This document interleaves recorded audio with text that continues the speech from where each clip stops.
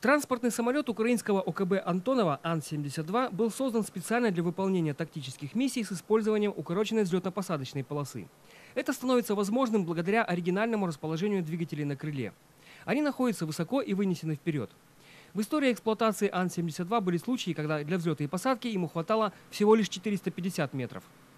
Изначально Ан-72 создавался для работы в крайне неблагоприятных климатических условиях. К примеру, низких температур в Сибири и Заполярье. Кроме того, самолет может садиться на короткие грунтовые полосы и даже на лед. Все это делает машину незаменимым транспортным средством для казахстанской армии. На авиазаводе в российском городе Таганроге прошли ремонт и модернизацию два самолета. Ранее эти Ан-72 входили в состав российского авиационного подразделения, которое было дислоцировано на космодроме Байконур. После передачи Казахстану было решено пополнить ими армейскую военно-транспортную авиацию. Второй борт придет с ремонтом в начале следующего года. Оба самолета оснащены полным комплектом средств наземного обслуживания и ремонта. А На самолете выполненный капитальный ремонт обоих двигателей и планера.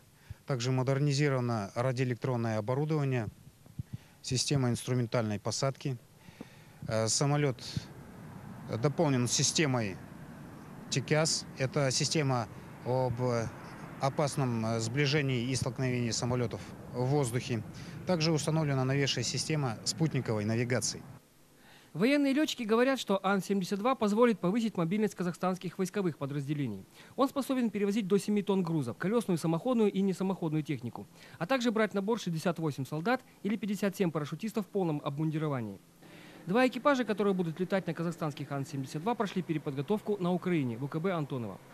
Предполагается, что тренировочные полеты на первом прибывшем самолете начнутся в декабре, после оформления необходимых документов и согласования полетной документации со всеми казахстанскими структурами, отвечающими за использование наземной инфраструктуры и воздушного пространства. Григорий Беденко, Владислав Шишко, агентство Хабар из Алматы.